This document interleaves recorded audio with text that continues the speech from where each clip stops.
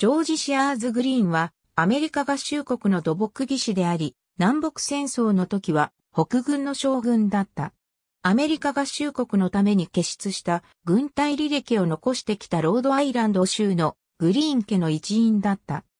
戦争中に最も貢献できたのは、ゲティスバーグの戦いでカルプスヒルの北軍右側面を守った時だった。文民としては、アメリカ土木建築学会の創設者となり、合衆国北部で多くの鉄道と水路の建設プロジェクトで功績を残した。グリーンはロードアイランド州アッポノーグで、ケーレブとサラ・ロビンソン・ウィックスのグリーン夫妻の子供で9人兄弟の一人として生まれた。その家系は、ロードアイランドの設立やアメリカ独立戦争にルーツがあり、ジョージ・グリーンにはまたいとこにあたる、ナサニエル・グリーン将軍は独立戦争の英雄だった。父のケーレブは金銭に抜け目のない選手かつ商人だったが、アメリカの船舶が他国から商品を持ち込むことを禁じた1807年の通商禁止法と米英戦争のために一家は財政的苦境に陥った。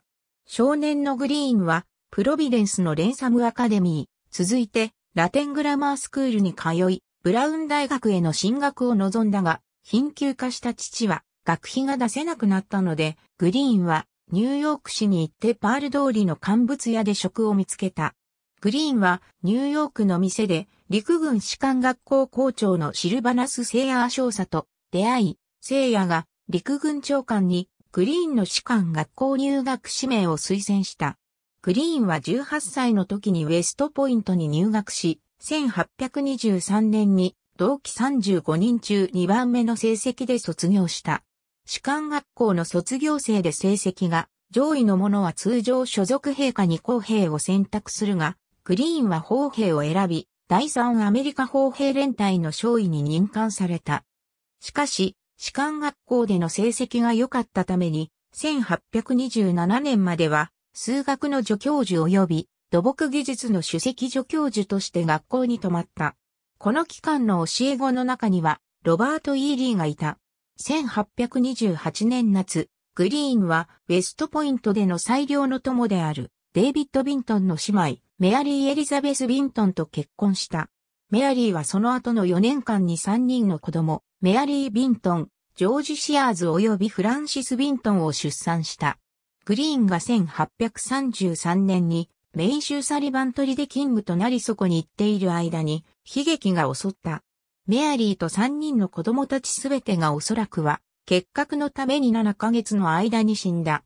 グリーンは、心の痛みを癒し、平時の守備隊任務にある、孤独感や赤涼感から逃れるために、法律と医学の勉強に没頭し、1836年に土木技師となるために除隊した時はどちらも専門家の免状を得られるほどになっていた。グリーンは6州で鉄道を建設し、ワシントン DC、デトロイトなどいくつかの都市で市内の上下水道設備を設計した。ニューヨーク市ではセントラルパークのクロトン水路の給水所を設計し、ハーレム川に架かるハイブリッジを大きくした。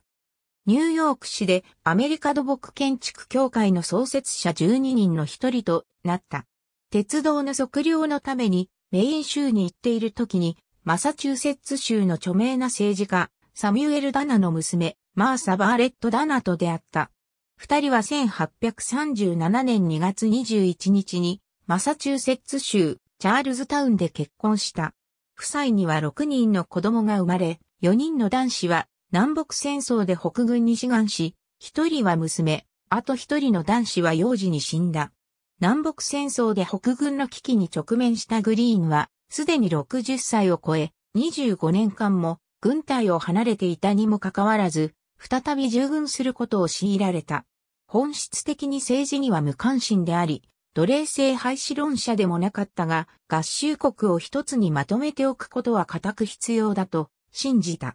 1862年1月18日に第60ニューヨーク不評連隊の大佐に指名された。この連隊はニューヨーク州北部出身のもので構成されており、その大佐には不満で中隊長たちはグリーンの解任を請願した。エドウィン・ディ・モーガン州知事は当初、グリーンの年齢ゆえに指名をためらっていたが、13年間正規軍に在籍した経験が政治や軍隊の問題を解決するとみなした。この頃、マサチューセッツ州知事ジョニー・アンドルーもグリーンに連隊長を任せようとしていたが、グリーンがニューヨーク州を選んだ。第60ニューヨーク不評連隊の士官たちは、年を取り、ごま塩頭の男が任務に就いた時当惑した。その士官たちは、当時の中佐を昇進させてくれるよう求め、そうすれば自分たちの多くも階級が上がるものと考えた。1862年4月18日、グリーンは志願兵の準将に指名され、南軍ストーンウォール・ジャクソン少将に対抗して、バレー方面作戦にあったナサニエル・バンクス少将の参謀となった。61歳のグリーンは南北戦争の将軍の中でも最も年寄りの部類であり、部下たちはオールドマンあるいはパップグリーンと呼ぶようになった。しかし、その年齢は軍隊の中で最も攻撃的な指揮官であることを妨げなかった。北バージニア方面作戦のシーダー山の戦いでは、バージニア軍第2軍団、第2師団の第3旅団を指揮した。グリーンは事態の3倍の勢力がある南軍に攻撃されたが、その陣地を譲ろうとせず、隣接する北軍部隊が撤退を強いられるまで守り続けた。その師団長、ジョン・ギアリー准将が、この戦闘中に重傷を負い、グリーンは一時的に師団の指揮を取った。アンティータムの戦いでは、この時、ポトマック軍第12軍団の一部となっていた師団を、再度一時的に指揮した。その師団の三個旅団はシーダー山の戦いを、くぐり抜けてきた若い士官が率いていた。第12軍団長ジョーゼフ・ケー・マンスフィールド准将が、戦闘の開始直後に戦死したが、グリーンはダンカー境界近くで南軍に対して破壊的攻撃を率い、北軍のどの部隊よりも南軍ストーンウォール・ジャクソン少将の前線深く進撃した。激しい圧力の中で、グリーンはその小さな師団で4時間、他部隊よりも前で戦い続けたが、最終的に大きな損失を出して交代した。その師団がハーパーズフェリーに配置された間に、グリーンは3週間の病気休暇をもらった。オリバー・オ・ハワード少々、グリーンが復帰すると、師団長には、ジョン・ギアリー准将が就任していた。グリーンは、ギアリーが自分より、ほんの数日昇進が早かっただけでその地位に選ばれたことに不満だった。ギアリーはシーダーさんの戦いで負傷し、その戦闘記録は大したことがなかったが、その政治的なコネと負傷した士官は、必ずしもその軍歴の挫折とすべきではないという感覚があり、現状を受けがうしかなかった。グリーンは第三旅団長に復帰し、北バージニアで小さな戦闘に関わり、12月のフレデリックスバーグの戦いには参戦しなかった。1863年5月のチャンセラーズビルの戦いでは、その旅団が前線の中央にあった。北軍右翼の第11軍団が崩壊した時、グリーンの旅団は大砲の盾うと続いて不評な猛攻の対象になった。グリーンは事態に坂もぎや残壕を使って前線に対して200ヤード前進した位置を固めるように命じ、南軍の数度の攻撃に耐えたが、参戦した2032名のうち528名の損失を出した。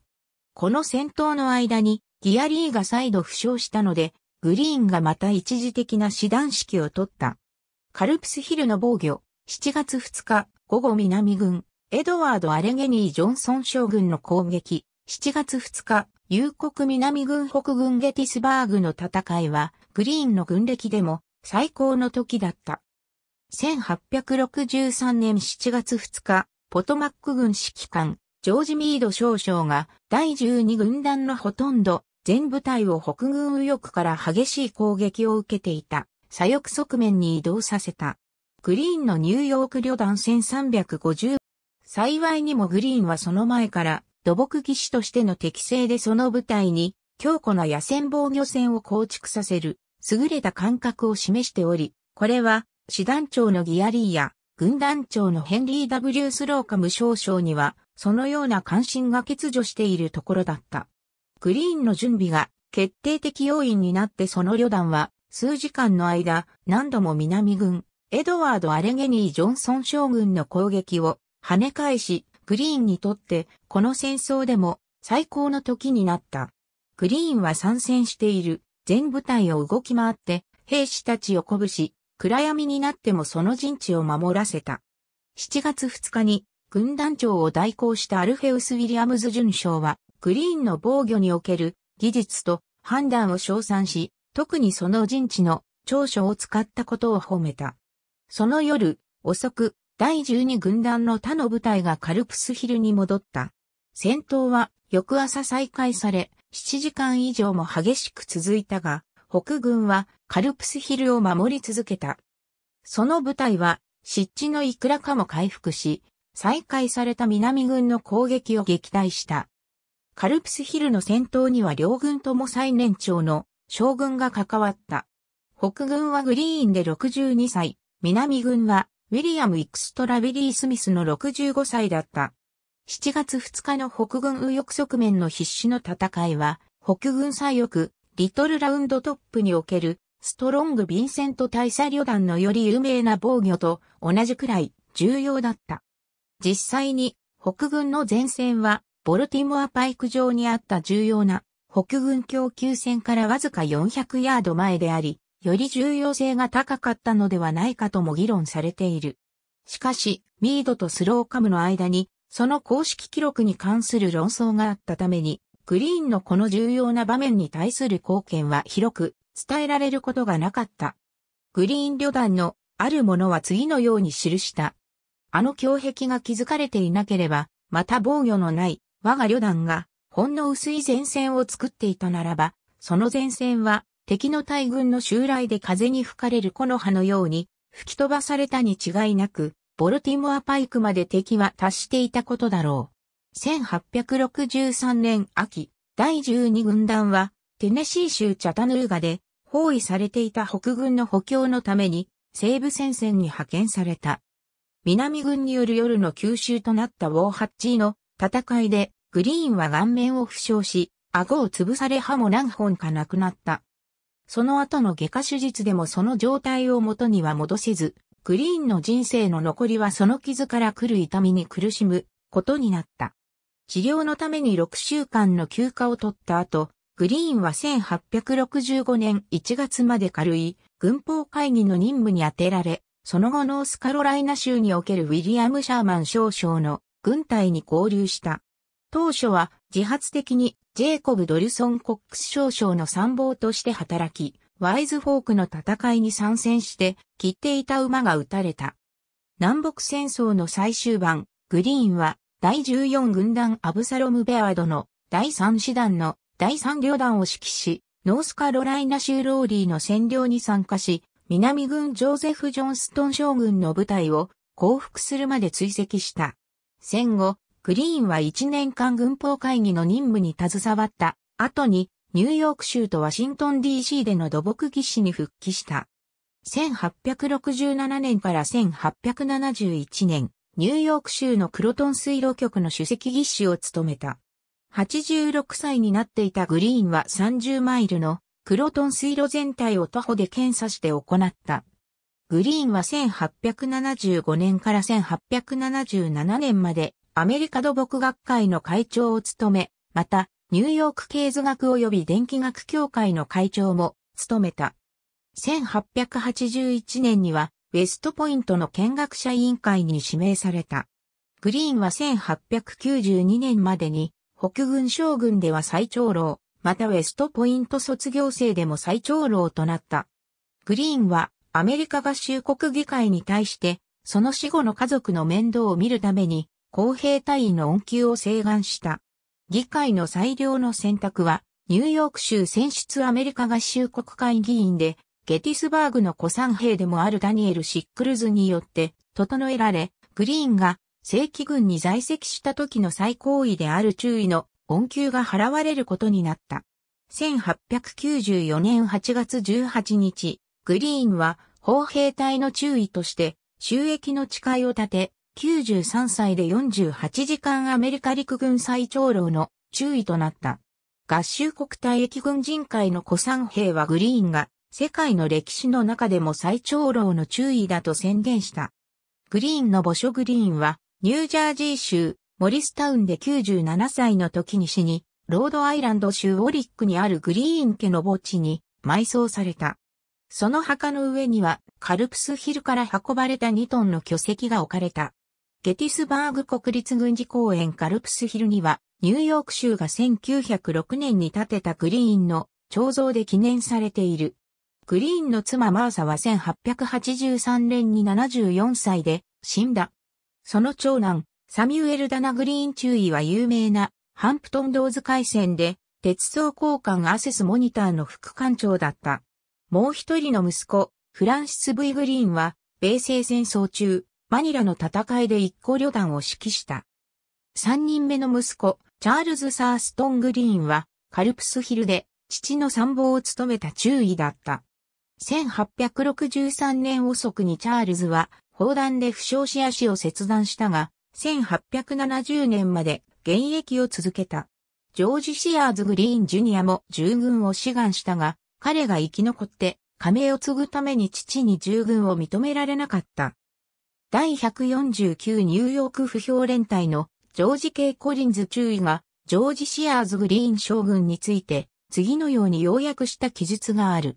彼は、ウェストポイントの出身で年はおよそ60歳、がっしりした体型で、身長は5フィート10インチあり、色浅黒く、鉄塊色の髪、灰色の顎ひげと口ひげで覆われ、つっけんどんな態度で見たところ頑固だったが、すべてが優れた士官であり荒々しい外観に親切な心を持っていた。舞台兵は最初は彼を恐れたのと同様に最後は愛し尊敬するようになり、これがすべてをよく物語っている。彼はいかに訓練するか、いかに指揮を取るか、また危機に際して、いかに部下の面倒を見るかを知っており、それならばこそ部下は彼を尊敬した。